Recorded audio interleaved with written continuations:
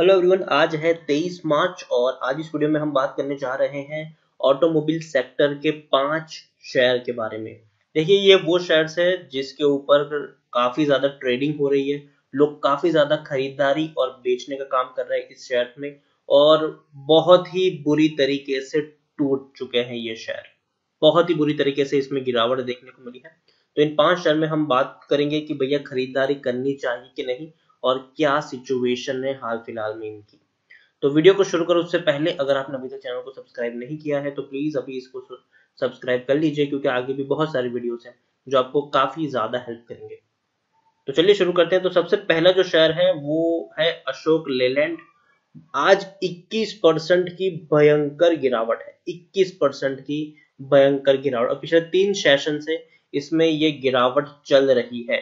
आप खुद देख सकते हैं कि अगर मैं पिछले एक हफ़्ते का ही अगर डेटा आपको प्रेजेंट करके दिखाऊँ तो पिछले एक हफ़्ते में अशोक लेलैंड का जो शेयर है, वो कहाँ से गिरता हुआ नीचे आया है? आप खुद देखिए। 65 66 रुपीज़ से ये शेयर गिरता हुआ नीचे आया है और चौंतीस रुपए के ऊपर ट्रेड कर रहा है। पैंसठ रुपए से सीधा चौंतीस रुपए के ऊपर और ये सिर्फ़ तीन दिन में हुआ है। तीन वर्किंग दिन में हुआ है ये। और ये हालत बहुत ही ज़्यादा टेंस है और ये इसका रीजन भी है कि भैया अशोक लेलैंड ने अनाउंसमेंट कर दी कि उनकी जो फाइनेंस कंपनी है हिंदुजा लेलैंड फाइनेंस में तो ये भैया उसमें 1200 करोड़ रुपए का निवेश करेंगे। अब मार्केट ने इसको काफ़ी नेगेटिव तौर पे लिया। रीजन ये था कि भैया पहली चीज़ तो ये कि ऑलरेडी मार्केट इतना टूट रहा है, उसमें ये 1200 करोड़ रुपए कहाँ से लाएँगे, कहाँ से निवेश करेंगे? और दूसरी बात है कि उससे शेयर होल्डर को कोई फ़ायदा तो हो नहीं रहा। तो कॉर्पोरेट गवर्नेंस के भी काफ़ी ज़्यादा इश्यू उनके ऊपर उठ रहे थे कि भैया किस हक से ये लोग इतना बड़ा पैसा का निवेश कर रहे हैं इन कंपनीज़ में। और दूसरी बात ये थी कि किसी को फ़ायदा हो नहीं रहा है।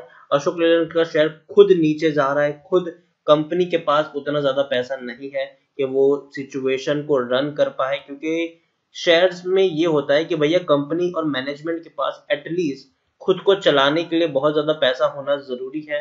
और अशोक लेलैंड के पास no doubt Ashok Leyland company को चलाने के लिए पैसा है, लेकिन ये अलग से पैसा अलोकेट कर रहे हैं दूसरी कंपनी के लिए। तो कहाँ से निवेश आएगा, उसको दिक्कत थी उसको लेकर काफ़ी ज़्यादा क्वेश्चन थी और काफ़ी लोगों ने इसका विरोध भी किया, काफ़ी लोगों ने इसको बताया कि भैया ये डिसीज़न जो है, वो काफ़ी ज़्यादा गलत है।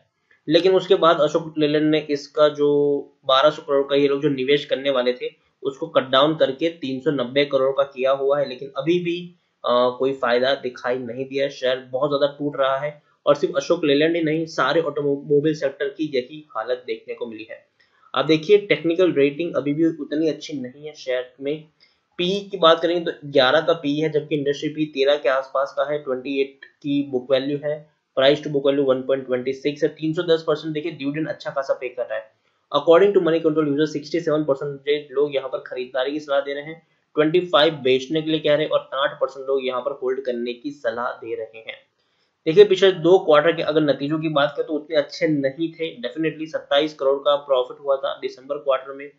तकरीबन 40 करोड़ का प्रॉफिट हुआ था सितंबर क्वार्टर में। और अच्छे इसलिए नहीं है क्योंकि इससे पहले कंपनी साढ़े छह सौ से चार सौ करोड़ का मुनाफा कमा चुकी है। तो इसलिए वो अच्छी चीज़ इनके लिए नहीं थी। और ऑटोमोबाइल सेक्टर की जो मंदी है, उसने इनको तोड़ के रख दिया है। कर्जा इनके ऊपर है, तकरीबन 400 करोड़ के आसपास का कर्जा भी इनके ऊपर देखने को मिल रहा है।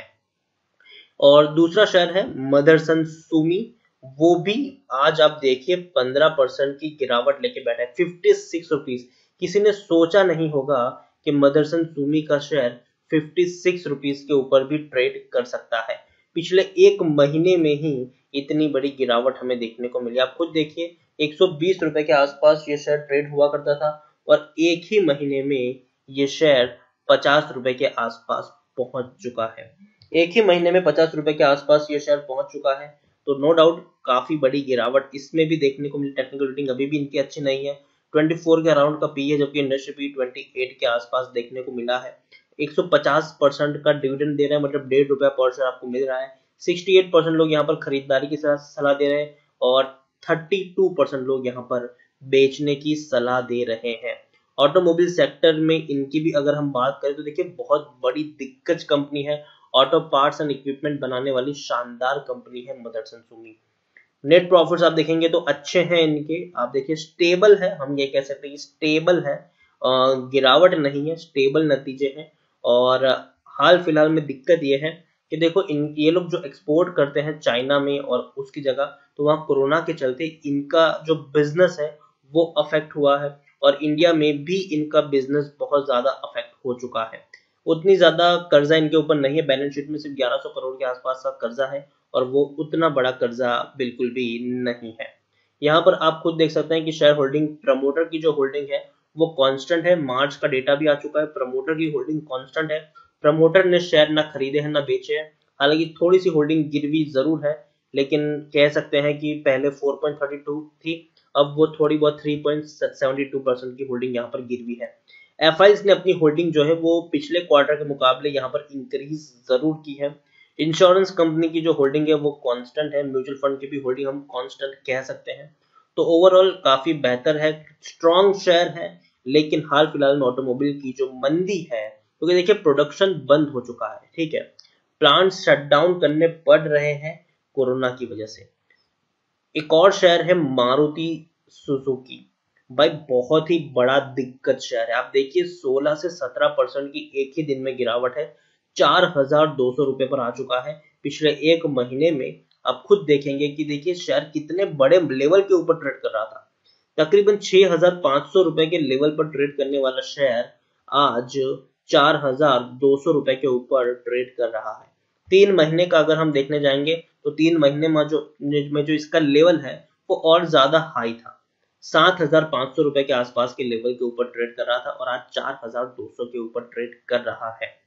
तो काफ़ी बड़ी गिरावट इसमें भी देखने को मिली है। 1600 परसेंट का डिविडेंड पे कर रहा है ये। डेफिनेटली बहुत बड़ा डिविडेंड पे कर रहा है। टेक्निकल रेटिंग अभी भी इनकी उतनी अच्छी नहीं है। 21 के आसपास का पीई है 15 के आसपास का इसका इंडस्ट्री पीई देखने को मिल रहा है। यहाँ पर 94 परसेंट लोग खरीदारी की सलाह दे रहे हैं। पाँच परसेंट लोग यहाँ पर बेचने की सलाह दे रहे हैं। एक परसेंट लोग यहाँ पर होल्ड करने की सलाह दे रहे हैं। और यहाँ पर अगर हम बात करने जाए तो नेट प्रॉफिट भी आप खुद देखिए कंपनी के। कांस्टेंट है भैया। इंक्रीज भी हो रहे हैं, लेकिन कांस्टेंट भी है। 1500 से 1600 करोड़ के नेट प्रॉफिट यहाँ पर देखने को मिल रहे हैं। काफ़ी बढ़िया है। और कर्जा बिल्कुल भी नहीं है। डेढ़ सौ, एक करोड़ के आसपास का कर्जा है, जबकि 1500 से 1600 करोड़ तो भैया ये लोग एक क्वार्टर में कमा लेते तो कर्जा कोई उतना ज़्यादा है ही नहीं इनके ऊपर। और प्रमोटर की जो होल्डिंग आप देखेंगे तो कांस्टेंट देखने को मिली है। प्रमोटर के द्वारा एक भी शेयर गिरवी नहीं है।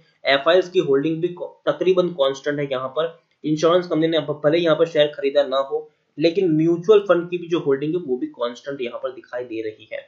तो दिक्कत शेयर है, बढ़िया शेयर है, अच्छे प्राइस के ऊपर भी ट्रेड कर रहा है, नीचे भी आ चुका है ये। चौथा शेयर है महिंद्रा एंड महिंद्रा। डेफिनेटली काफ़ी बड़ा शेयर है ये। आज 9 परसेंट की गिरावट इसमें देखने को मिली है। अगर हम बात करेंगे भैया तो एक महीने में ये शेयर भी देखिए, पाँच रुपए के आसपास से टूटता हुआ नीचे आया है। और अभी अवेलेबल है, तीन सौ रुपए से भी कम प्राइस के ऊपर अवेलेबल है। तो इसमें भी बहुत बड़ी गिरावट है और ये भी अगर आप देखने की कोशिश करेंगे तो इसमें ये जो गिरावट है, ये भी काफ़ी बड़ी है। इनके भी जो प्रॉफिट्स थे, हालाँकि काफ़ी बेहतर हुआ करते थे, लेकिन दिसंबर की जो प्रॉफिट है, वो उतने अच्छे नहीं आए थे। दिसंबर के प्रॉफिट उतने अच्छे नहीं थे। अगर हम बात करने जाए इनके भी शेयर होल्डिंग की तो देखिए प्रमोटर की जो होल्डिंग है, वो गिर रही है डेफिनेटली 21.61 थी, फिर 21.57 और 21.51 हालाँकि प्रमोटर के द्वारा जो शेयर गिरवी रखे थे, उनको छुड़ा लिए गए हैं। अब 2.84 परसेंट की ही होल्डिंग गिरवी है। एफ़ की होल्डिंग डेफिनेटली यहाँ पर थोड़ी थोड़ी गिरती हुई दिखाई दे रही है। 33 से 31 तक पहुँच चुकी है। इंश्योरेंस कंपनीज़ अपनी होल्डिंग यहाँ पर बढ़ा रहे हैं और म्यूचुअल फंड भी अपनी होल्डिंग कंटिन्यूस तरीके से यहाँ पर इंक्रीज कर रहे हैं। दिग्गज शहर है, बढ़िया शहर है, लेकिन ऑटोमोबाइल सेक्टर की ये जो मंदी है, ये अभी से नहीं, पिछले दो साल से चल रही है। और उसके बाद है टाटा मोटर्स। देखिए, बहुत निचले लेवल पर आ चुका है। काफ़ी ज़्यादा चर्चा होती है इस शेयर्स के बारे में। बहुत निचले लेवल पर ट्रेड कर रहे हैं भैया। आज भी 13 से 14 परसेंट की गिरावट लेकर यह शेयर बैठा हुआ है। पिछले एक महीने की अगर हम बात करें तो सिर्फ़ पिछले एक महीने में ही टाटा मोटर्स डेढ़ सौ रुपए से गिरता हुआ नीचे आया है।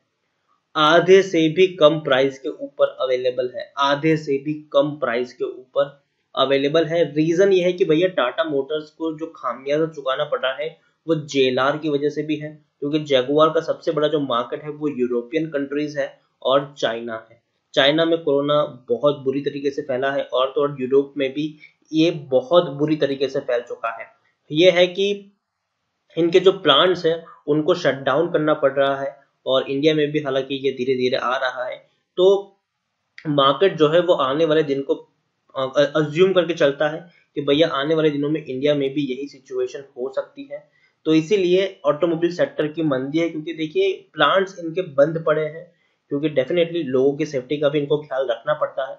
तो प्लांट्स इनके बंद पड़े हैं प्रोडक्शन बंद पड़ा है, और कंपनियाँ भी बंद पड़ी है, बिक्रीज हो नहीं रही, क्योंकि सब लोग अपने घर में कैद हैं, कोई घर से जा नहीं रहा है, बिक्रीज भी नहीं हो रही है ऑटोमोबाइल सेक्टर में अभी हाल फ़िलहाल में।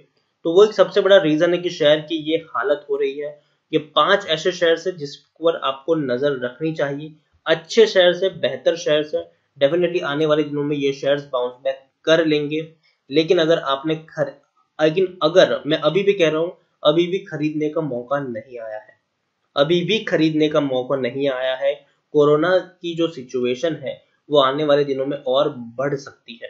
तो मैं यही कहूँगा कि देखो यार, अभी इसमें खरीदारी ना करे तो बेहतर होगा। शेयर में और गिरावट आ सकती है। याद रखिए, अगर एक दिन अगर शेयर ऊपर दौड़ेगा तो बाकी के तीन दिन ये नीचे भी टूट जाएगा। तो मैं यही कहूँगा कि जल्दबाजी बिल्कुल भी ना करे खरीदारी के लिए, लेकिन हाँ नज़र ज़रूर रखे इन शेयर्स के ऊपर। डेफिनेटली खरीदारी के बढ़िया मौके यहाँ पर आपको ज़रूर मिलेंगे। अगर आप रिटेल निवेशक है तो वेट करें। अगर आप बड़ा पोर्टफोलियो मैनेज करते हैं तो आप ऐसे शेयर्स में छोटी छोटी क्वांटिटी लगा सकते हैं, जैसे कि मदरसन सुमी है, जैसे कि अशोक लेलैंड है, जैसे कि मारुति सुजुकी है। ऐसे शेयर्स में आप छोटी क्वांटिटी लगा सकते हैं, ना कि कोई बड़ी क्वांटिटी सिर्फ़ छोटी क्वांटिटी और जिससे आपको उतना ज़्यादा फ़र्क भी ना पड़े। और क्योंकि पैसा है तो बचा के रखिए डेफिनेटली मार्केट में आपको बहुत ज़रूरत पड़ने वाली है आने वाले दिनों में। तो ये पाँच शेयर्स है जो मैंने चून, ये जो जो मुझे लगता है कि आने वाले दिनों में ये डबल हो सकते हैं। लेकिन वक्त लगेगा, ठीक है? वक्त लगेगा जब दिक्कत खत्म होगी कोरोना वाली, तब ये शेयर आपको अच्छे खासे प्राइस के ऊपर ट्रेड करते हुए भी दिखाई दे सकते हैं। लेकिन अगेन कह रहा हूँ, खरीदारी का मौका अभी भी नहीं आया है। तो वीडियो को यहीं पे एंड करूँगा। अगर आपको वीडियो अच्छा लगा है तो लाइक करें शेयर करें चैनल पर पहली बार आए तो प्लीज़ सब्सक्राइब करें। और आपको भी कौन से शेयर्स ऐसे लगते हैं ऑटोमोबाइल में जो और इसमें ऐड होने चाहिए तो वो भी आप मुझे कमेंट में लिखकर बता सकते हैं। Thank you